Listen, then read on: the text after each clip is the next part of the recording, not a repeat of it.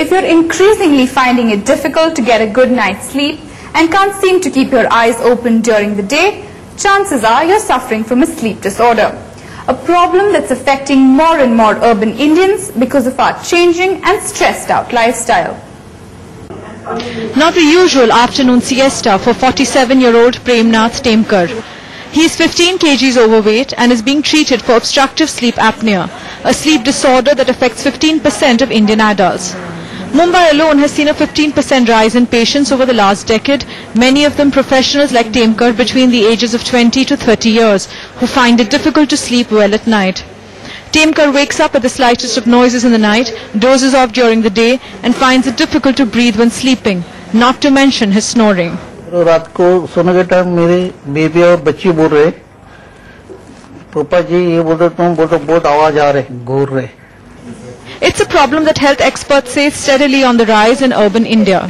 There are various studies which show that amongst Asians, Indians have the highest risk of developing sleep disorders worldwide. And the main reason is the changing lifestyle.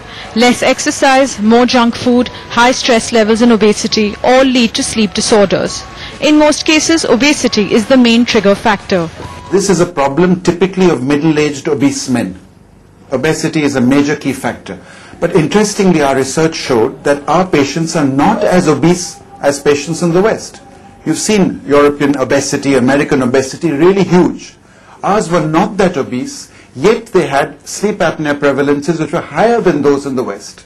And our postulate was that they have an altered skeletal system, an altered facial structure, which then makes them more prone to these episodes of choking at night.